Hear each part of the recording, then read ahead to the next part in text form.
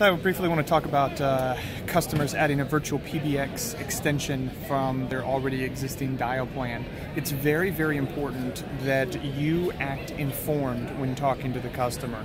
So if that means that you need to put them on hold while you research their account a little bit, that is okay. Uh, just explain to the customer that you need to go in, find out exactly how their system works.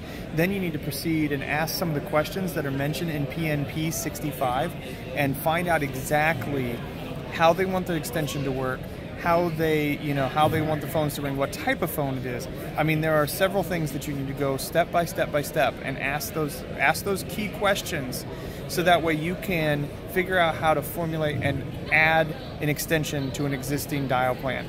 Because let's say, for example, they're adding a new salesperson in the sales department, you ship them the phone, and then all of a sudden they get that new phone and that extension, and you didn't uh, you didn't give them the right extension number.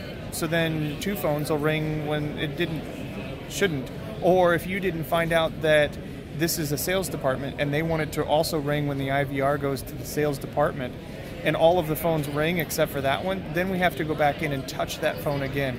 By asking these questions that we've identified on this um, will really help you solve that problem for that customer and get them the phone that they need. Just make sure that the extension number that you give them is unique and you log that information into FreeSide and um, on their notes on the account. So that way you have all information about the exact extension on who it belongs to. Put that in the, uh, the invoice details on the actual extension as you provision that. So that way everybody knows what extension is. When you're going to assign a new extension number, just go down into the, um, into the plan.